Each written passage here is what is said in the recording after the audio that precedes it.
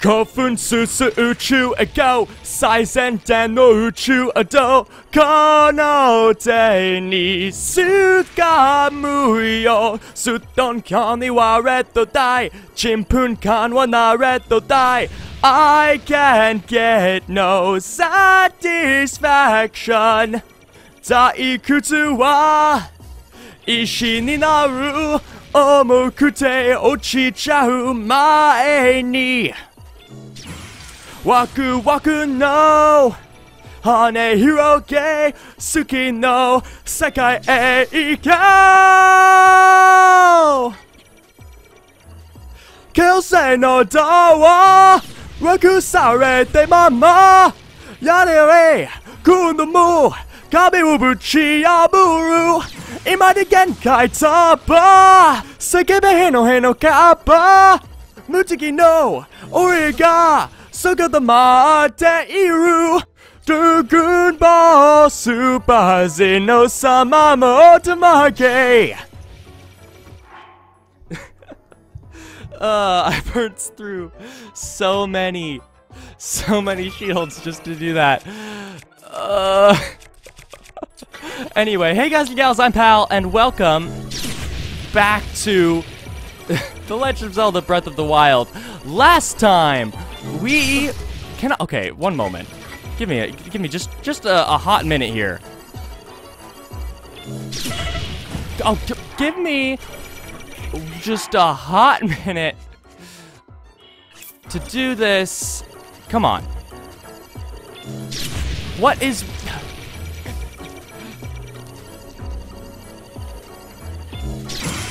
There. Last time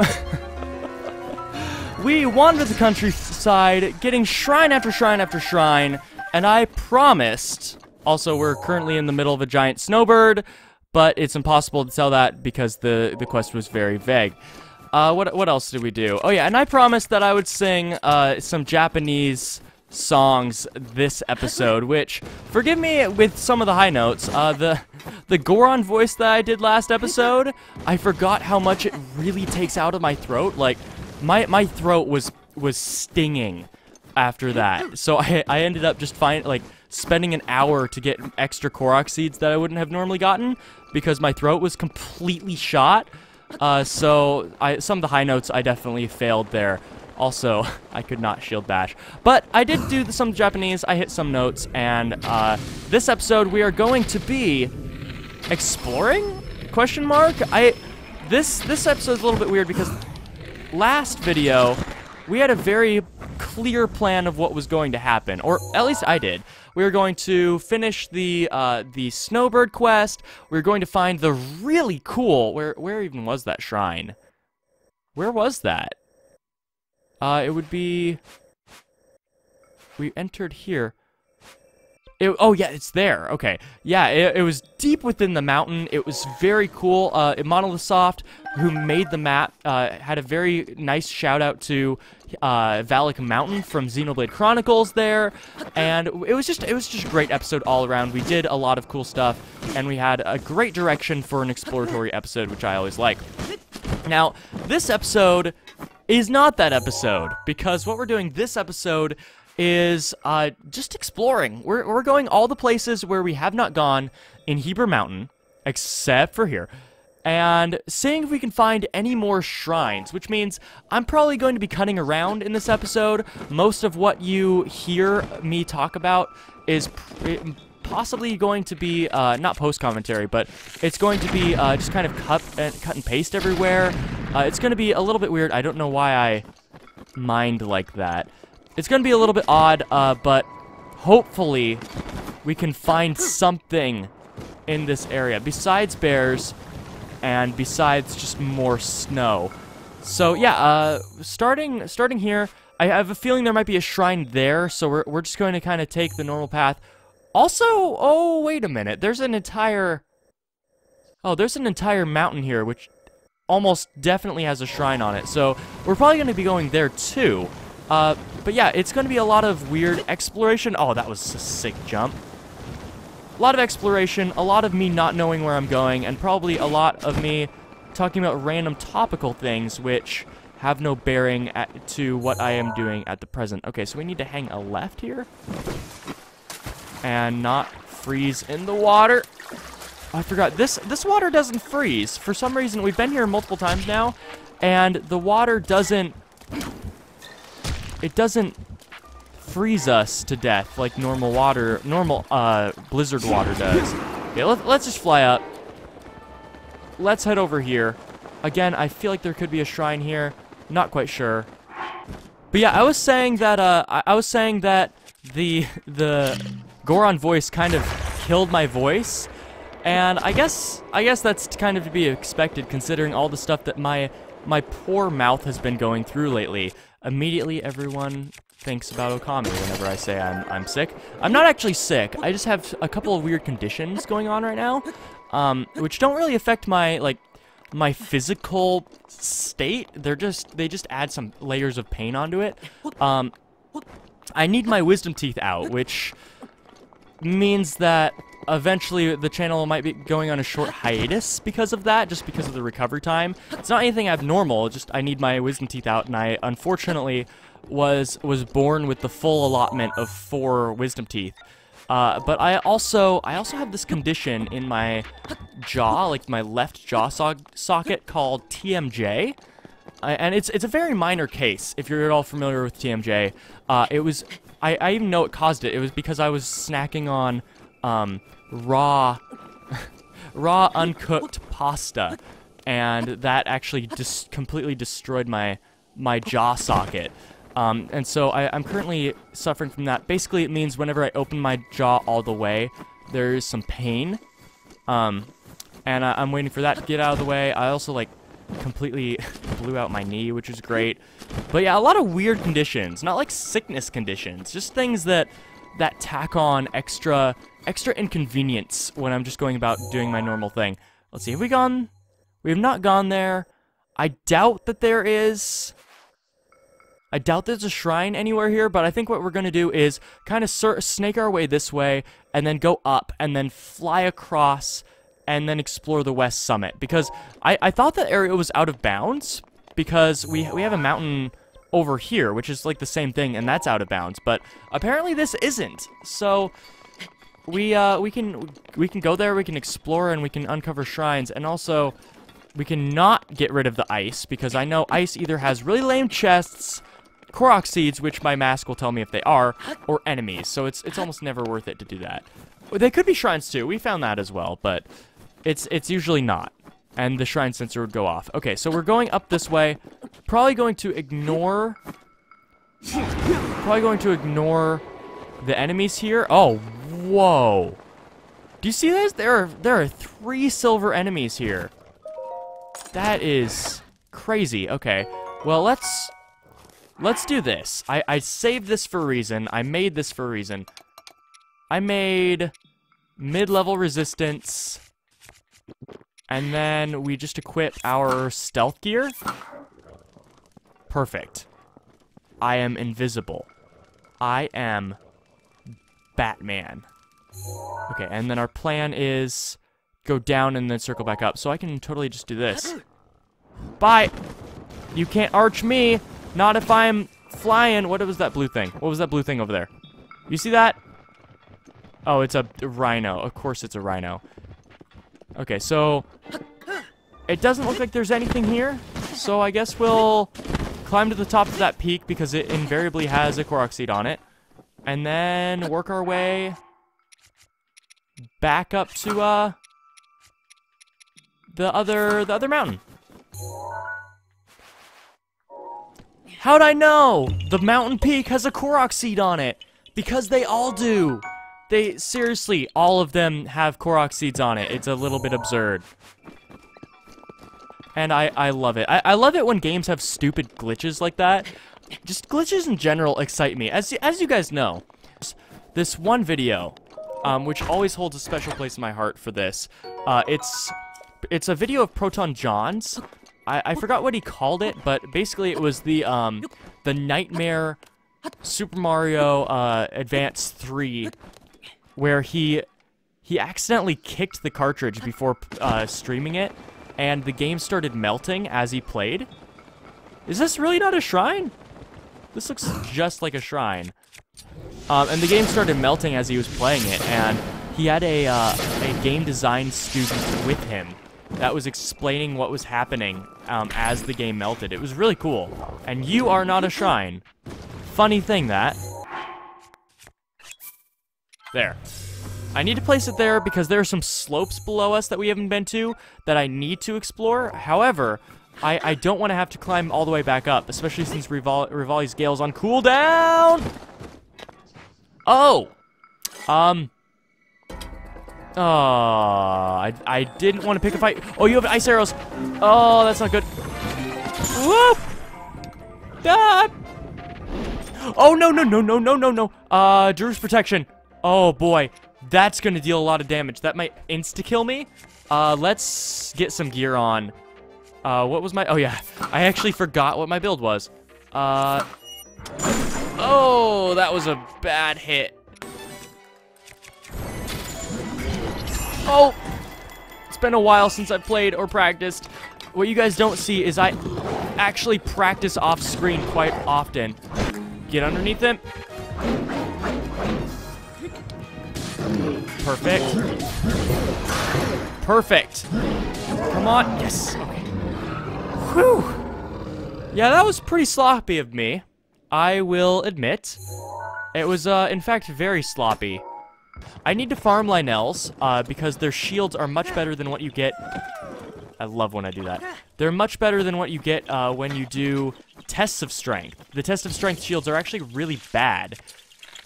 Okay, those are gonna move. Got that. Got that. And got that. Is gonna have to change. You, I'm gonna shoot you in a place that I should not be shooting you. All in the name of get, killing you before you even get up off the ground? Will that work? Uh, not quite. Ah! Stupid menus. And... Dead. That was kind of slow, but... I mean... I killed him. So far, my loot... I guess I can break with this. My loot has been... Gems? A boss and Korok seeds like crazy. It, which is starting to make me worry that there is actually nothing, no shrine here, which is odd because it's a, such a giant area of the map. But it's it's starting to look like that unless they reward me at the very end of this. But also the odds of the odds of what you're looking for being the exactly the last thing you find aren't that good. So unless this there is a Shrine Quest located here. I'm kind of starting to worry that there's no, there isn't going to be a huge reward for exploring this. This one has a chest inside of it, which probably contains garbage. How'd I guess? It contains garbage. I would like to point out that on every single summit in the, the Hebra West Summit, there is a Korok seed. Also, my Korok seeds have gotten bugged in that they no longer play the the Korok sound effect whenever you find them. Apparently, as you you veer towards 100 and or 450 Korok seeds, the game starts to melt. Whoa. Going back behind the hot spring, there's a little cave in here. Can I go behind this? No. But there's a cave which has four rusty shields. If you ever really needed rusty shields in your life, right here. This is for all you rusty shield lovers out there, people who rock the rusty build, like the best build in the game, because you crit every attack, because your weapon breaks every attack. Come back here, and you can get rusty shields. I found a, uh, a Frost Talus. I guess that's good? Question mark? I, I'm kind of set for money. But I guess I'll kill it real quick. You know, just like, like this. Doo. and you're dead?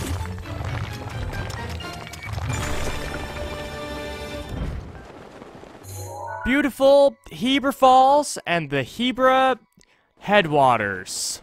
There's bound to be something interesting here, like... Is that a T-posing? Ha!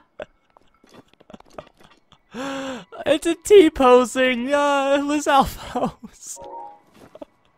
that is not supposed to happen, nor is that normal, because that is a T-posing Ice Breath Lizalfos. Yes, we're replacing the old picture. Boot that old picture out of there. None can beat the glory, the majesty, the awe-inspiringness of the T-posing Lizalfos. Will it even attack me if I come close? Because it's kind of a T-posing Lizalfos. I really hope it doesn't. Oh, this is beautiful. Oh, wait. Oh, man. I, I have a great idea. Uh, if I get Majora's Mask on, I can just walk right up.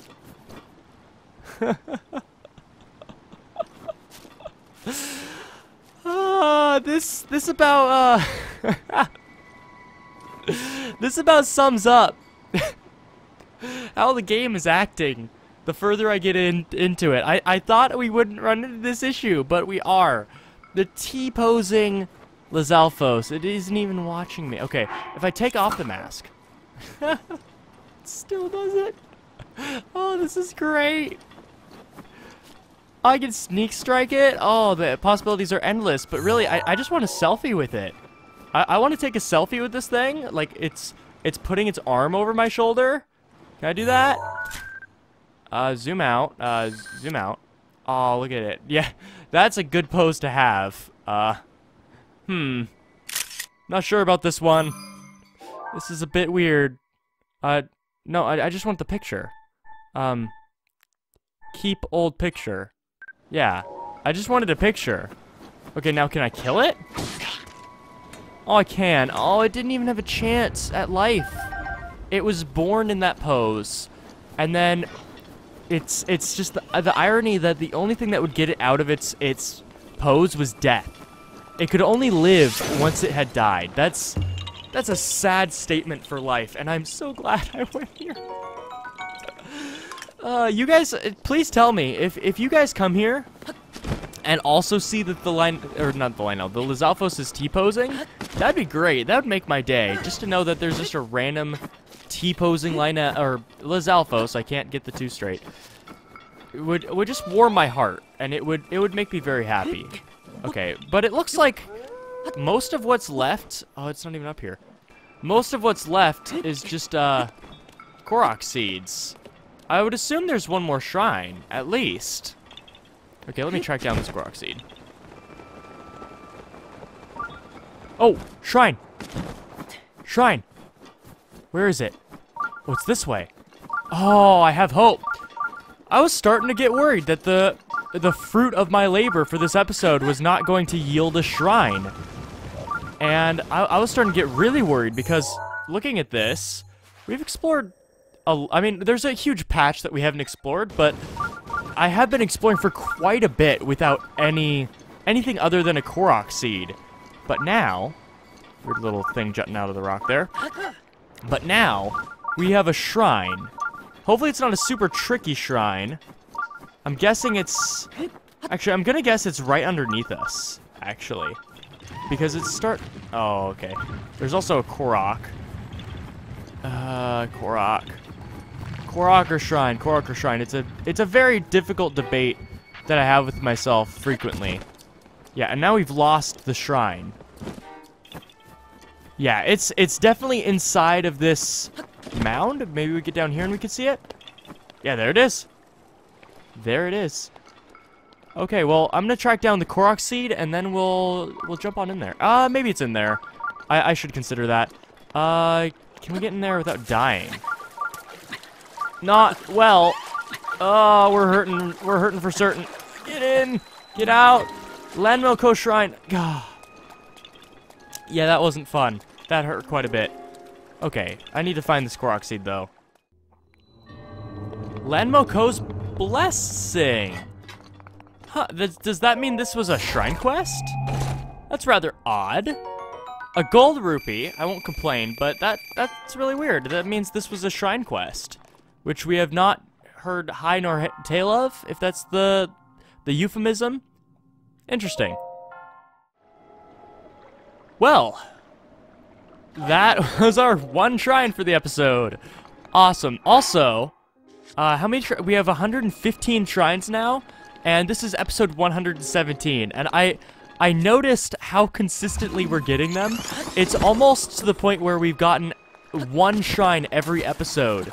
I mean, we haven't actually gotten one shrine every episode, but it's it's as if we did. We got we have gotten an average of one shrine every single episode, which is pretty cool. It, it means that I'm making progress every single video. Even if some uh, if some videos are slower than another, I'm slowly chipping away at the monolith. you see what I did there? That is Breath of the Wild. Thank you so much for watching. I was really startled by that. It looked like a giant moose. If you enjoyed this episode in any capacity, please tell your friends about my channel. It's it's really cool. We've been doing this for four years, moving into our fifth, and I am I have no I have no hopes of stopping, or no no inkling of stopping. All right, next episode next time in Breath of the Wild, we are going. Really, a forest dweller's bow? Here? Okay. We are going to be uh, continuing our exploration. If we look at the hero's path, which we haven't even filled out yet, I think it requires 300 hours before it starts erasing the beginning, and we haven't even played that. Um, I am going to be uh, exploring the rest of the Tabantha Tundra, places we have not been, once again, not that area, in the hopes that we can uh, uncover a few more shrines and get that much closer towards this being our 120th. We have 115 shrines now? 114? Which means that, uh, I fell off this thing. Which means that we're almost done and we're that much closer to getting our 120th and leaving and going to Hyrule Castle and beating the game. Alright, if there are any shrines that I've missed, please comment about them. Otherwise, join me next time when we will hopefully find another shrine. See you guys then!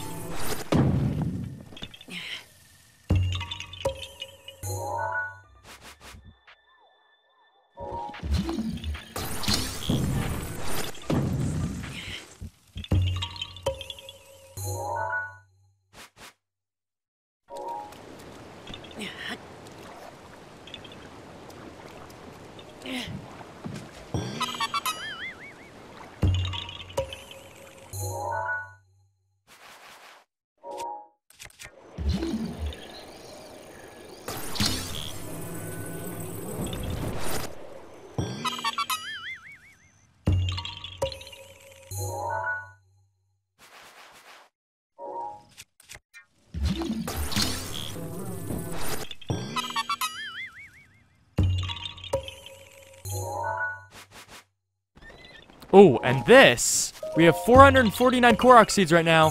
This is the 450th. Once we get this, we will be exactly halfway.